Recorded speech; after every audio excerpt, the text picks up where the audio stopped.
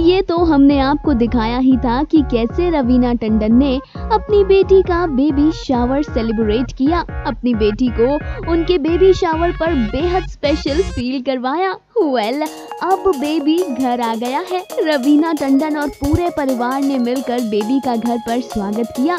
दरअसल रवीना ने खुद अपने सोशल नेटवर्किंग साइट के ज़रिए ये खबर अनाउंस की। रवीना ने अपने सोशल नेटवर्किंग साइट पर कुछ तस्वीरें अपलोड की। जो आप हमारी इस रिपोर्ट में देख ही पा रहे होंगे और साथ ही साथ उसे कैप्शन दिया thanking the almighty the baby comes home नई नई नानी को और मम्मी को ढेर सारी शुभकामनाएँ, साथ ही साथ पूरे परिवार को भी बधाई। वेल रवीना जाते जाते ये ज़रूर कहेंगे कि भले ही आप बन गई हैं नानी, लेकिन आज भी बड़ी बड़ी हसीनाएँ आपके सामने भरती हैं पानी। Final card Entertainment Desk.